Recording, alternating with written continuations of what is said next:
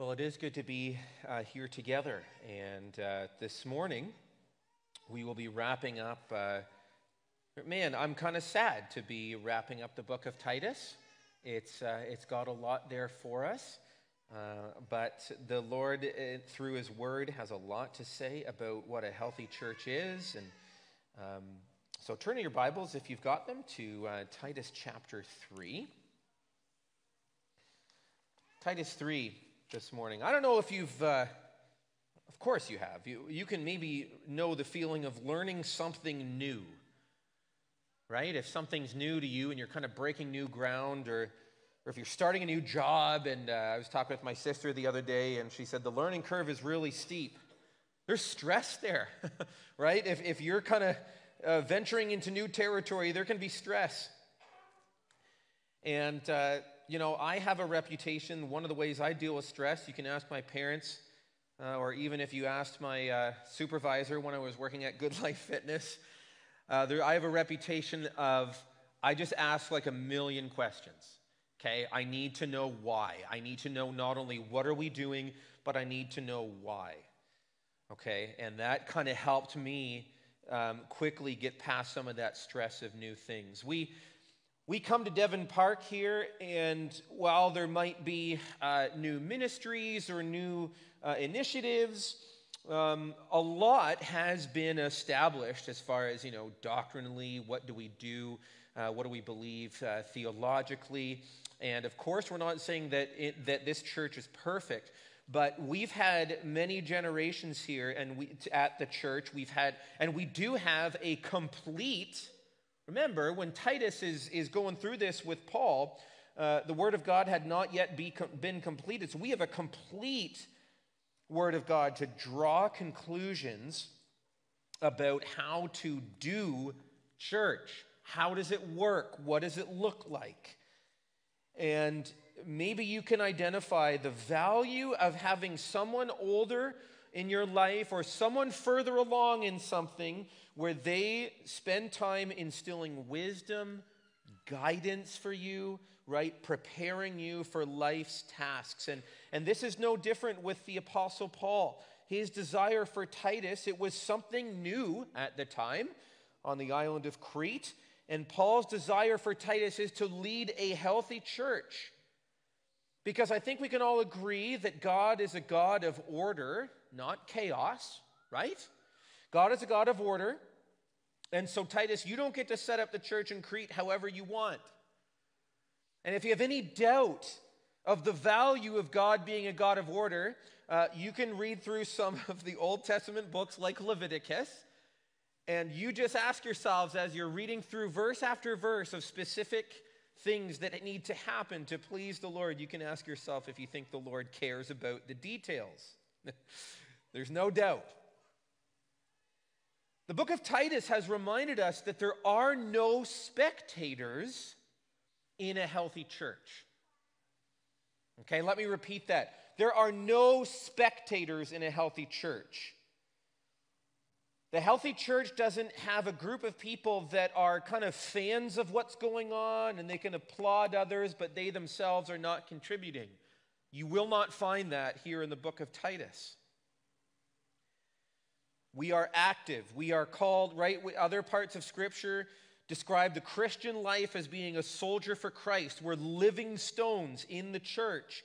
And so the conclusion of this book, as we zoom out, because we've, we've really zoomed in, just a little bit of a review, we've really zoomed in on specific roles of different people in a healthy church. Right? Starts with healthy leaders, and then, and then Paul instructs Titus with with um, what do healthy older men in the church look like. And, and uh, by the way, I've been blessed to, to hang out with some of them recently, right? I was able to get over to, uh, to visit Gordon this, this past week, Gordon Saunders. Um, glad that he's home. And uh, he's just one of those guys that being around him is just an encouragement, right? I so value men like him, and we've got a number in this church older men with younger men, older ladies with younger ladies, right? Different demographics. Um, Titus even goes into uh, what God honoring relationships look like with masters and bondservants. So there is something for everyone that is to be a part of a healthy church as they follow the lead of healthy church leaders. And again, we, as leaders, the directors and deacons, we covet your prayers um, in that sense. And so this morning, as we kind of zoom out and wrap up the book, we want to look at healthy churches being having healthy testimonies. Okay, and I don't just mean the church as a group of us, but healthy individual testimonies within that church. Now, a testimony is evidence in support of a fact or a statement. Okay, we realize here that we are in the world. Yes, we are in the world. And yet, very clearly, we are to live, and our testimony is to show that we are not of it. That the children of God and the opponents of God are going to be polar opposites. And that's what our church should look like completely countercultural. Our testimony is to be protected, okay, not only as a church, but again, individually protected, maintained, lived out clearly with no confusion where our actions match our words. And so maybe you've heard this question before. I'm sure you have. It says, If someone convicted you of being a Christian, would there be enough evidence to prove the accusation to be true? Would there be enough evidence in your life where, you would, where someone could say, Yep, you're quote unquote guilty of being a Christian? It's clear. And when we think of our testimonies, just because I like my brain works this way, so I did the math. Did you know that if you sit in church here for this hour, that 0.6% of your life in your week, or if you come on Wednesday nights or to Awana oh or something, if you're there for that hour too, then that's 1.2%. 1.2% of your life is lived within these walls. So, what in the world happens with the other 98.8%? That, I would say, is where our testimony really, where the rubber meets the road. And I am not minimizing the importance of that 0.6 or 1.2%. Okay, we need to be together. We need to gather. That's clear. It's important. It's healthy. It's awesome. But the vast bulk of our time will be out there as a private citizen. And so, our testimony, the evidence we show in support of uh, the fact of our lives being transformed by Christ, that's where it really matters. And so, as we're going to see here in Titus 3, there are a few specific ways that we can measure and say, are our testimonies really effective in, in living, in glorifying the Lord, in pointing people to Christ? And so some people would ask, Pastor Rich, what does a healthy testimony look like? Well, thank you for asking. Let's get into it. Titus chapter 3, let's read the first 11 verses, okay? Remind them, Paul says, remind them to be subject to rulers and authorities, to obey, to be ready for every good work, to speak evil of no one, to be peaceable, gentle, showing all humility to all men. For we ourselves were once foolish, disobedient, deceived, serving various lusts and pleasures, living in malice and envy, hateful and hating one another. Yikes. But when the kindness and the love of God, our Savior, toward men appeared, not by works of righteousness which we have done, but according to His mercy, He saved us through the washing of regeneration and renewing of the Holy Spirit whom he poured out on us abundantly through Jesus Christ our Savior. That having been justified by his grace, we should become heirs according to the hope of eternal life. This is a faithful saying, and these things I want you to affirm constantly that those who have believed in God should be careful to maintain good works. These things are good and profitable to men. But avoid foolish disputes, genealogies, contentions and strivings about the law, for they are unprofitable and useless. Reject a divisive man after the first and second admonition, knowing that such a person is warped and sinning, being self condemned. Let's just read that far and have a quick word of prayer here. Lord, we thank you once again that we have the complete Word of God that we can read and chew on and study. We thank you for that, um, that gift that we have in our lives. We know there are many believers around the world that would love to have a copy of the Word of God. So we thank you for it. We come to this time, Lord, and we ask that the Holy Spirit would open our eyes, would illumine our hearts, would, would teach us, and that all authority would come from your word. And that's why it deserves attention in our, in our lives. Not because of the human mouthpiece, but because of the message, the authority that comes from the living word of God, able to pierce to soul and spirit. It's alive. And so, Lord, help us to honor your word, not just by simply sitting and listening, but chewing on and doing your word in this important aspect of being a healthy church. We need your help, and we thank you that you provide it. In Jesus' name we pray. Amen. So, the first thing about a healthy testimony of individuals in the church is that we see here in the first couple verses that believers are going to be obedient to rulers. Okay? Obedient to rulers. I think we have that up on the screen there. We do not, if, if you're like me, we do not want to be satisfied alone if our church's health is measured only by operational organization. Okay? Now, uh, that is important. We have this annual business meeting coming up, and I was thinking about this. There's everything right with being organized, okay, striving together in operational things, in tasks, in ministries, um, in, in all of those areas that are part of running a church. Okay, that's important. But that is not the ultimate. You could, you could be completely organized and have things really polished and be wasting your time at an unhealthy church. The measure of a healthy church is obedience to the Lord, right? And so, if we're going to be obedient to the Lord, we're going to be obedient to rulers, as it says here in the first uh, couple of verses. It says, remind them. Okay, so I ask ourselves, as Devon Park members and, and attenders, are we a church that lives peaceably whenever possible with those who God has ordained to rule and govern? And I ask you that question even when we say even unsaved rulers. Yup, even rulers who at times show corruption or are completely opposite to what we believe would be God's agenda, are we peaceably living under their, under their authority? The standard is yes, absolutely. And so we need that reminder. Now, that doesn't mean we just go you know, mindlessly along with, with things that are anti biblical. Of course, we draw our boundaries. But whenever possible, we are obedient to rulers. And he says, remind them. Who is them? Who is being reminded? All Christians. Okay, doesn't matter your age, doesn't matter if you're a church leader, doesn't matter at this time of it being written, if you're a bondservant or a master, who needs reminders? All Christians. I don't know about you, but there's been t- some times that I need to be reminded of certain things about my testimony. All right? That's normal and it's healthy. So don't tune out because this is something we all need. Titus, the Christians there in Crete have a duty to do something out there.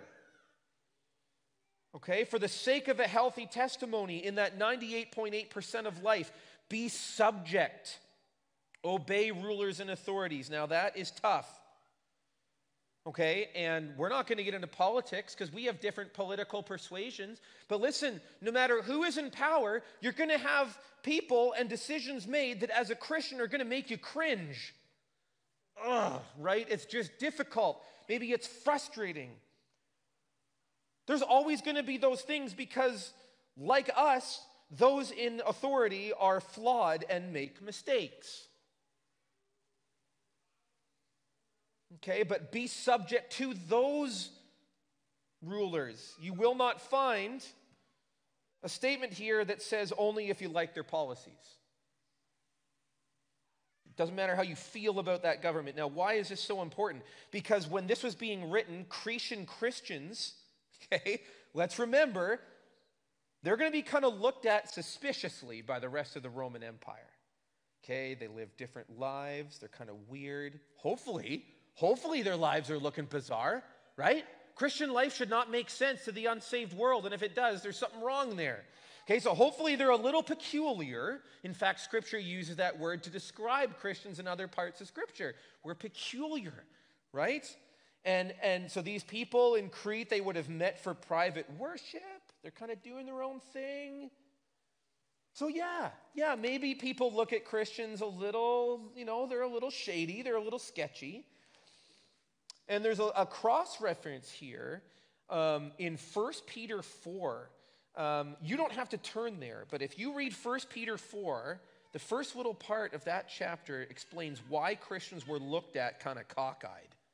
Hmm, and the human reaction then would be the same as now when people do not understand something, then they have a hard time trusting it.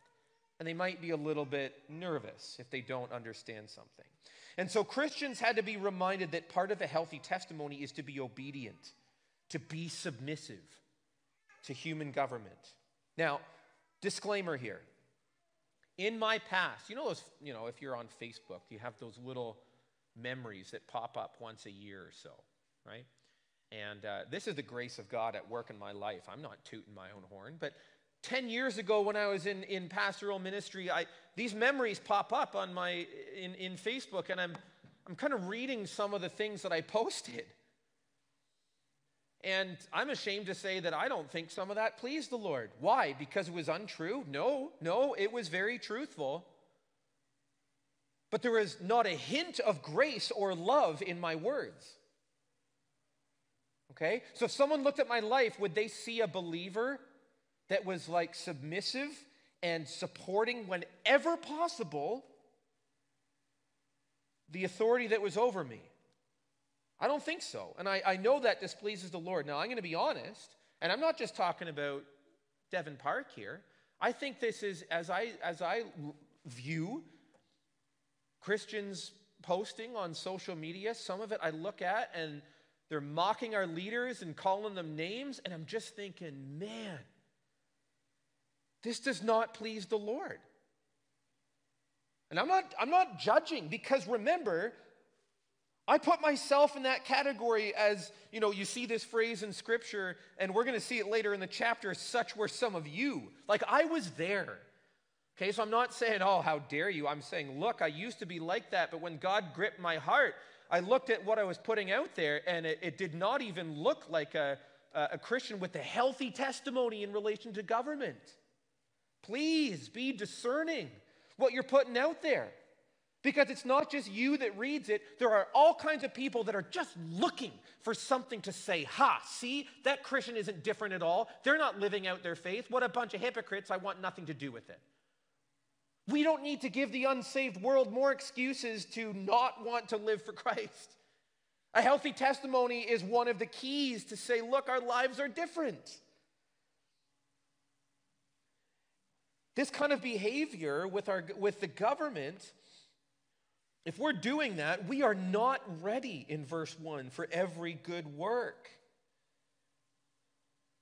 So I was there, but, but because of the grace of God and the Spirit of God, if that's where you are, change, mature, grow, be different. The Word of God and the Spirit of God is everything you need to continually be molded and shaped to be more like Christ, even in the area of what we post online. Political division existed back in Crete too. Now, they weren't tweeting or Facebooking about it, but there were factions there was rebellion against lawful authority, there were coups. And so Paul says to Titus, Look, none of this is to have even a hint of who you are as Christians, who are peaceable and gentle to those ruling over them. Whatever promotes peace and good order, whatever is your civil responsibility, do those things, do those good deeds. Even if politicians make my life hard, yes. Even if they want to support, suppress the gospel and the name of Jesus Christ, yes. Now, please don't misunderstand on this topic of our, our area of testimonies. I don't think you'll see Paul telling Titus, and I, I'm certainly not telling you that we should never ca- call out the ills, the moral ills and decay of society. Yes, but I encourage you not to linger on cursing the darkness. If you went to a doctor and they say, I'm sorry, and this is, this is a hard concept for some because this has been reality for some of us. If you went to a doctor and, and you were with them for half an hour, and all of those 30 minutes they were simply telling you the problem, they went into details. Let's say you've been diagnosed with cancer, and they go into all of the reasons, all of the things that are going wrong in your body, and all of the challenges that that's going to present. Everything wrong, everything negative, and then you leave that consult. Like at some point, a normal person is going to ask, okay, we get it, it's bad, but what do we do about it?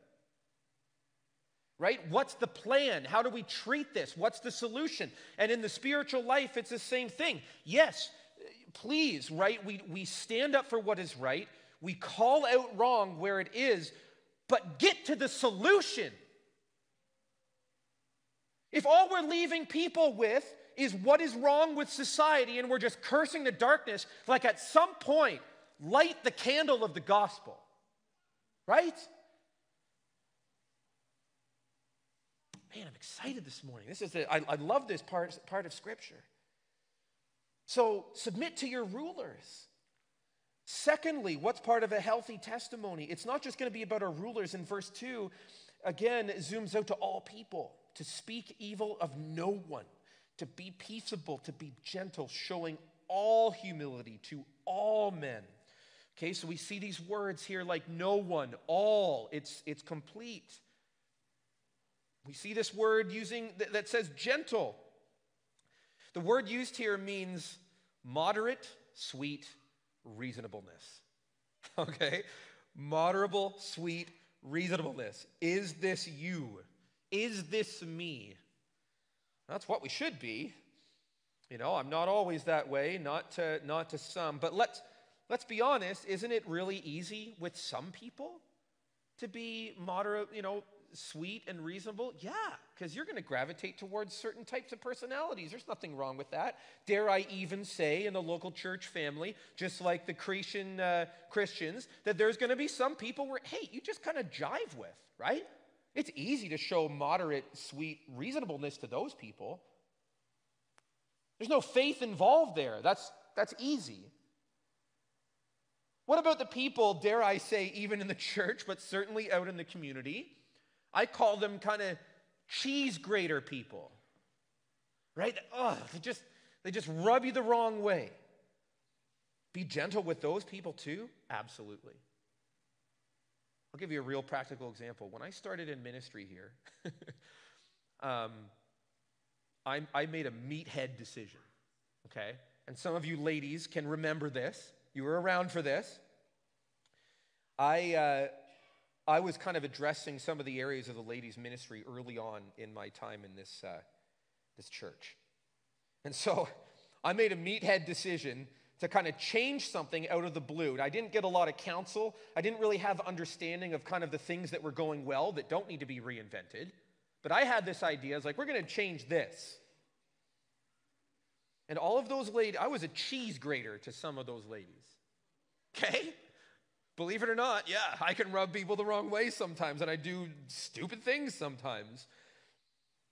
Can I, can I tell you, I am so glad to tell you that all of those ladies now are peaceable and gentle to me, and I thank them for their forgiveness. I can be a cheese grater to other. I don't want to be, but it happens sometimes. It does not require any effective testimony to be gentle with those who you already get along with. And it's not just in the church, right? You think of um, friends, co workers, superiors. Are we gentle and peaceable with them even when they are maybe thinking the opposite as, as we do, or even if we don't get our way? So we are gentle. That's part of a healthy testimony. We are humble. Showing, it says, showing all humility to all men. This is key, our humility. Can I tell you that, the, uh, that our adversary, uh, Satan, hates humility? Okay? We want to be we want to be humble because if we're honest, if we look at our own lives, we have every reason in the world for our testimony to be of humility when we think about, and we're going to get into the gospel, the gospel heavy, heavy center, uh, section rather of, of verse 3 to 7. We have every reason to be humble. Uh, in Proverbs 29, it says, A man's pride will bring him low, but a humble spirit will obtain honor. Later on in the New Testament, Paul talks to the Corinthian church and he says, And we have such trust through Christ toward God, not that we are sufficient of ourselves to think of anything as being from ourselves, but our sufficiency is from God. So it's not of ourselves. We had an excellent reminder last week. Pastor Terry tackled a great topic in Romans that our salvation is not about us. It's not, what about, it's not about what we bring to the table. We bring sin to the table. That's what we bring. That's a cause for humility when we think about being saved. It's about God bringing life to a spiritually dead person by His Spirit for His glory. Okay, so no, no boasting allowed. Let's turn over real quickly to 1 Corinthians chapter 6. 1 Corinthians chapter 6. And a lot of us, you know, you hear a lot of people say, oh, well, we just need to, uh, you know, reflect and be like the New Testament church. Well, yeah, there's a lot of good things that they did, but uh, it was still made up of flawed people. Okay, they certainly uh, weren't perfect. Let's remember that. They had some major problems too. 1 Corinthians chapter 6 verse 8 Paul says no you yourselves do wrong and cheat and you do these things to your brethren there's some problems going on Do you not know that the unrighteous will not inherit the kingdom of God don't be deceived neither fornicators nor idolaters nor adulterers nor homosexuals nor, nor sodomites nor thieves nor covetous nor drunkards nor reviles nor extortioners will inherit the kingdom of God and listen to this it's like, oh, what a, what a horrible list of people. I'm so glad that we're, you know, we're not like that. And then he says, and such were some of you. The church is new, right? And so a lot of transformation stories of the gospel, like these might have been some people that were living like this like a few weeks ago. Such were some of you. But you were washed. Okay, so all of that it described you, but you were washed. You were justified in the name of the Lord Jesus and by the Spirit of our God. You're called out from that life. Nothing about that says boasting. Says we're trophies of God's grace and His mercy. No boasting allowed. You know, first you don't have to turn there, but 1 Corinthians 5, sexual immorality. Acts 5, verses 1 to 11, the whole Ananias and Sapphira thing where they're lying and they get zapped, they're dead on the spot. Yeah, that's a problem. And such were some of you. Now, aren't you glad this morning that we don't have to stop with guilt, that we can continue to grace and uh, in grace because of that but? Aren't you thankful for the, for the Lord in the rest of that verse when it says, but you were washed? I'm thankful for that. And so this is the reason for humility because every, every single one of us here, apart from the grace of God, apart from his washing, apart from his regener- regeneration, what are we? Well, we're wretches. we're, uh, we're hopeless, right? Our, our hearts, left to our own devices, desperately wicked. And so, an effective testimony, not only in church, but in that 98.8% of our lives, is a humble testimony because of who we are before. We remember who we are before Christ. We remember who we would be without Christ. Now, listen, I'm not suggesting that we dwell and we get really discouraged thinking about all our past sin. I think there's some danger there if we dwell on, on that. But if you're ever struggling to relate to someone who is currently living in sin or currently returning to bad, destructive habits and they don't know the Lord, if you're ever having a hard time relating to someone like that, just remember what God saved you from. Because it, I think if we're honest, we can describe ourselves here. Is anyone here foolish on their own? Oh, yeah. Is anyone disobedient? Definitely. Who were we before Christ? Completely in the dark. We were completely deceived. We were completely spiritually blind. We were completely spiritually dead, Ephesians 2, verse 1 says. And that's why, with that truth in mind, when we remember who we were, but then we praise God for who we are in Christ, that's why I firmly believe that the gospel power isn't just something to be celebrated once. It isn't just to be remembered once a month at communion, but the power of the gospel, where our hope comes from and our sufficiency, that is a reminder that I believe is needed every day of life. Why? Because our pride needs to be killed every day of life. It is stubborn. My pride is stubborn. And we said earlier, Satan loves that pride. He loves proud people in church, and he hates humble people in church. You want to know why? Because humble people are moldable and teachable. All right? If Satan can't take away our salvation, and he can't, then the next best thing he can do is render us useless in the Christian life. Pride is an excellent way to do that. Just this, this week, and again, this is why I'm excited about this because I was studying this. When you study the Word of God and then you've got like conversations literally within 24 to 48 hours of what you're reading, it's awesome, right? You're like, wow, this is, this is how these conversations are supposed to go. I was talking with someone this week where we, we were discussing something, but then uh, they came to say, they came to realize, like, wow, I, I really need to change. And there is much rejoicing when you see that humility and you say, that's someone that the Lord's working in. That person is growing. Man, that's exciting. Where we say, Lord, help, help me, be, teach me, change me. We need the gospel power every day. So, an effective testimony with others is gentle, it's humble. And verse 3, it says it's gracious. Testimony interaction with others should be undeniably and consistently gracious because of you know, what we remember uh, the grace of God has done in our lives. Maybe you're saved, maybe you came to know the Lord early in life. Right? I was saved when I was four years old. And maybe you think, well, my testimony, right? I don't, I don't have any of those dramatic, you know, formerly, I, you know, I, I wasn't, li- I wasn't partying it up at four years old, right? I'm not out there living the prodigal son kind of lifestyle. That's kind of boring, isn't it? Absolutely not. You can thank the Lord that He saved you from those things.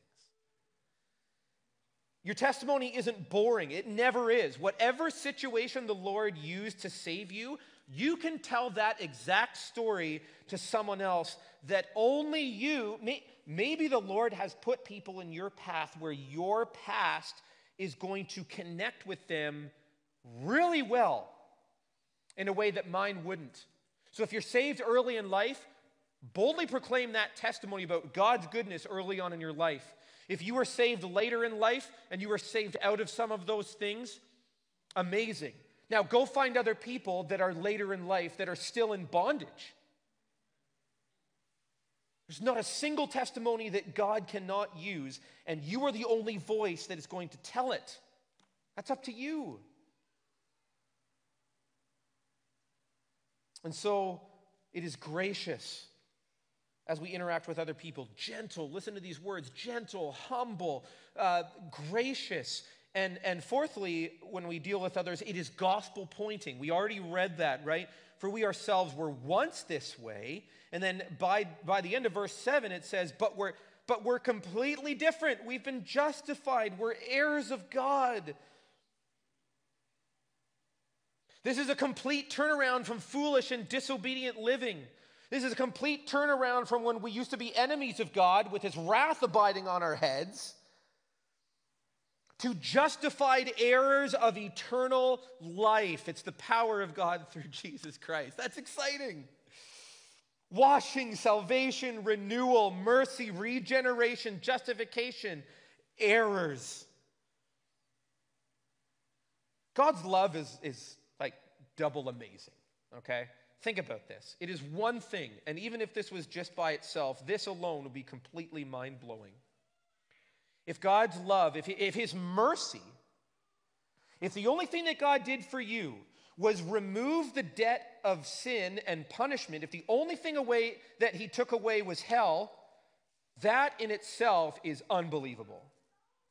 Okay? But that's not all that salvation is.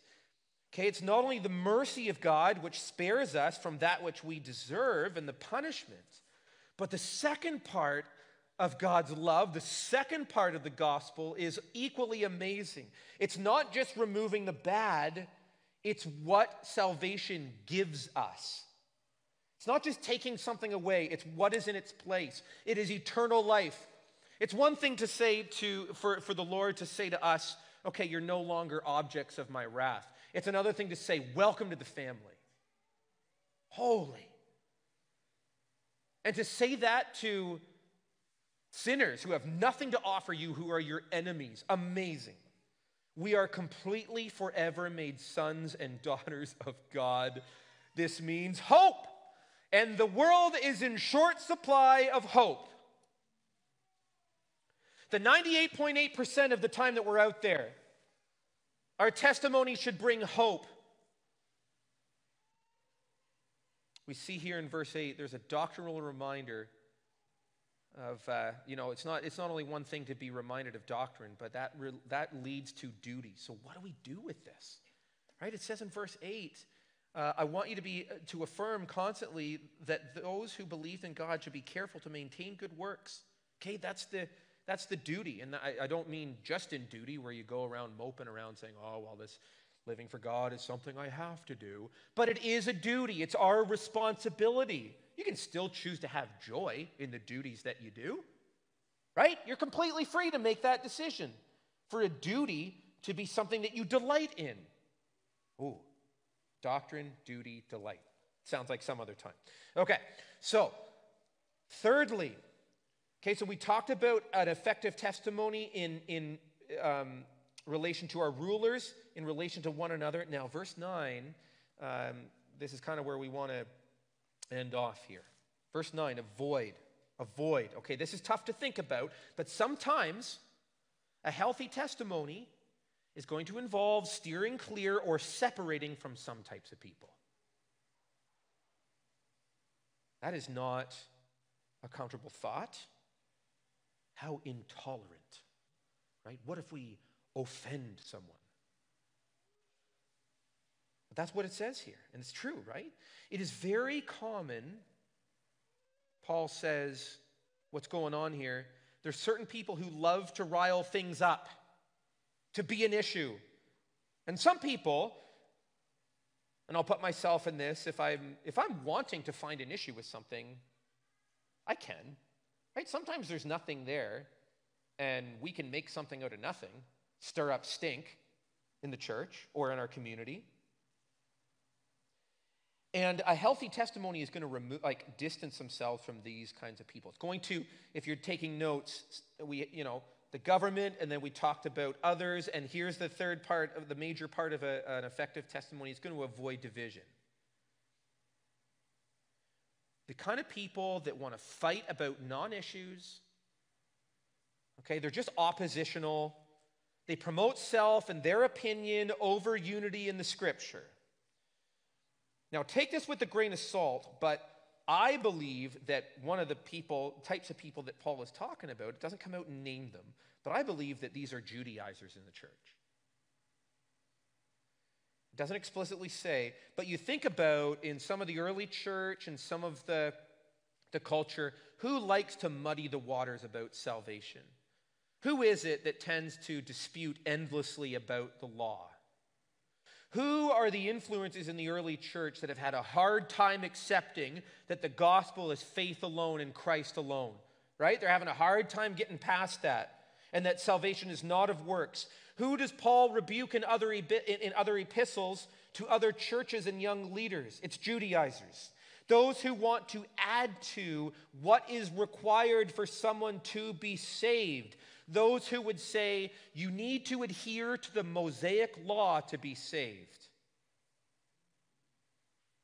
And th- those types of people today are still very prevalent, even in the church. Today, there are lots of hypotheticals, there are lots of useless, fruitless arguments meant to stir up division. Have you ever heard questions like this? How many angels can dance on the head of a pin? Can God make a stone so big that he is unable to, to move it? Who cares? Like, that's useless. Get it out of here. Okay? Um, it, another, another verse from Proverbs, chapter, chapter 20, it says, It's honorable for a man to stop striving. I love Proverbs. It says, Any fool can start a quarrel. That takes no skill. It takes discipline and it takes spiritual maturity to say, I don't want anything to do with that. Listen, this is being written in the time of Greco Roman culture. They loved the public oratory. They loved to wax eloquent in their debates. Uh, in their debates, ah, it's all it's all pomp and, and intellectualism, and and uh, some of those people would be in churches. And their testimony is to be different from these types of people that love to puff themselves up and, and deal with hypotheticals and try to muddy the waters doctrinally. 2 Timothy 2, uh, you can, it's up on the screen there. This is strong wording. It says, Remind them of these things, charging them before the Lord not to strive about words to no profit, to the ruin of the hearers. Shun profane and idle babblings, for they will increase to more ungodliness. You think that these profane and idle babblings are just going to be idle? No, they're going to grow. All right? It's, things are just going to get worse if they're not corrected, and their message will spread. Ugh, this is gross, like cancer. Avoid foolish and ignorant disputes, knowing they generate strife. And a servant of the Lord must not quarrel, but be gentle to all. Second Timothy, also here in Titus, you think Paul is trying to drill something in about this useless talk? Now, I love the context. Let's not divorce this from the previous verses. I love the context of these previous verses. Verse 3 to 8 you know, that's what we are. It says, This is a faithful saying, and these things, so the things that he just mentioned, verse 3 to 7, all of that great stuff, the primary doctrine, the things that we say, hallelujah, all of those things, those things are to be affirmed constantly. The gospel, hope, salvation by faith alone, those things are profitable to all men make much of primary things. Keep the main thing the main thing. All of those things that he just listed, like talk about those things because they edify, they build up, they draw together. Focus on those things. I don't know if you've ever been uh, trapped in a conversation that isn't useful. um, it's happened, and i I've been a pastor for 12 and a half years now. And, uh, you know, I love talking with people at the door. Uh, once in a while, as two or three people walk by that could use encouragement or, or need a good word, I, yeah, there's sometimes that the, it's just a, a useless conversation that you're stuck in with someone. Just doesn't, doesn't produce anything, doesn't help anything and how it, you know how are we supposed to minister to all um, as a servant of the lord? How am i supposed to help all if one person wants to talk about useless fluff? Now not all genealogies are bad and the word striving is not inherently bad. Some things are worth striving for and there can be good use of genealogies. For instance it's a fascinating study if you look through the genealogies and you study through the generations all about the bloodline of Christ. That's interesting, right? That's genealogy. There's nothing, genealogies are, are neutral.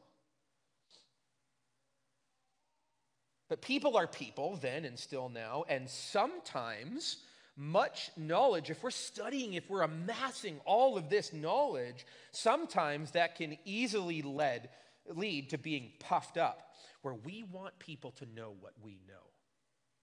We want them to know how much we know. Like we're the smartest person in the room. That, that doesn't please the Lord in our testimonies. And that's not a pleasant thought in the local church, but it's a reality. And, and so That's why Paul has to remind Titus hey, if you're dealing with these kinds of people, it says avoid. But look at this. Verse 10 if that doesn't work, reject. Ooh. It's a more forceful need. If avoiding is not enough, if there's been multiple rejections, there is a process for people who are consistently sinning and disrupting the peace and teaching false doctrines and spreading them to others. Healthy believers that make up a healthy church must maintain the purity of the church by rejecting those to seek to, to corrupt it. And this is not just a call for believers and saying, you're able to do this as a healthy church. It's stronger than that. It says you must do this as a healthy church. Now, this doesn't mean that you're hasty and that, you know, at the slightest inconvenience, you know, out the door, get out of here. All options are to be exercised first. In Matthew 18, there's some specific steps of confronting problems and, and if people are really riling things up. But you'll notice, even in all that process and of, of correction, what is the goal? It's never to um, reject or to cast out, it is always to reconcile.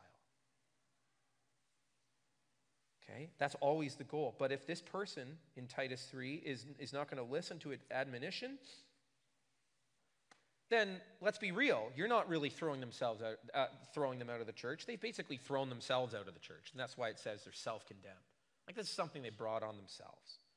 Strange way to think about healthy testimony, but let's think about this. And again, I don't use this analogy lightly, but it's a powerful one. Okay, I'm not making light of cancer. But let's say that you heard that you had cancer. It's a powerful image that Paul uses that we just read from those verses in 2 Timothy 2. Let's say it's some physical cancer. You think you're just going to kind of let that hang around and be like, ah, okay, Sarah, Sarah? Or do you think that you're going to want to do, about, do something about it for the sake of the rest of the body's health? You're not going to sit on that. You're not going to be passive about that. You want to get rid of that cancer before the cancerous influence spreads. And a healthy church testimony demands that we distance, avoid, and even reject unhealthy things going on in the church. That's part of a healthy testimony. So let's wrap it up.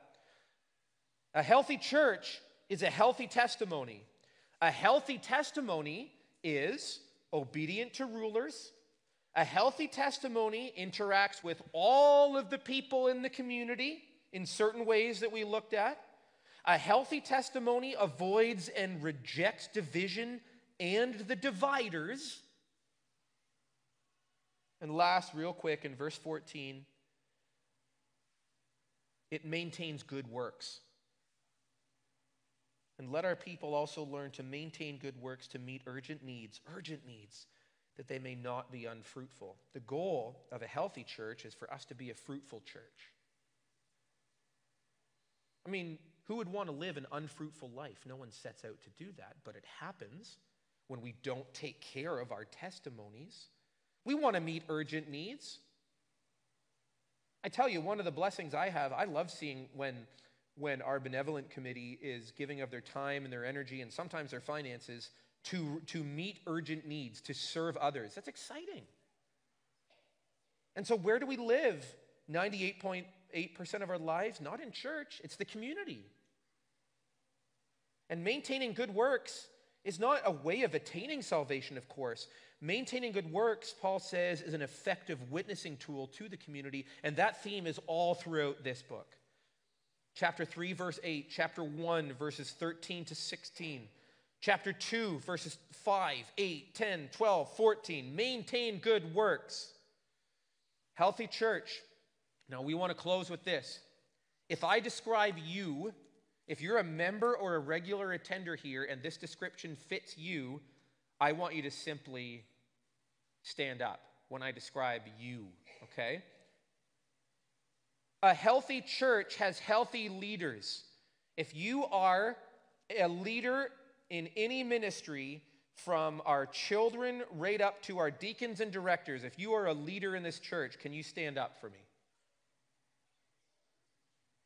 Okay? Any type of leadership position, deacons, directors, ministries of any kind, you can stand up. If you are, and there's no age limit on this, if you are a older man Okay? Let's say, so I don't offend anyone, let's say you're over the age of 80. If you're over the age of 80 and you're a man, stand up. Okay, no shame. If you are a man who is younger than 80, please stand up. If you're a man here and you're younger than 80, okay? If you are a lady who is over 80 years old, please stand up. Okay? If you are a lady here who is younger than 80 years old, please stand up. Any lady here younger than 80? Okay? Now, I'm not going to expect too many people to stand for this one if you're a master who has bond servants. Okay.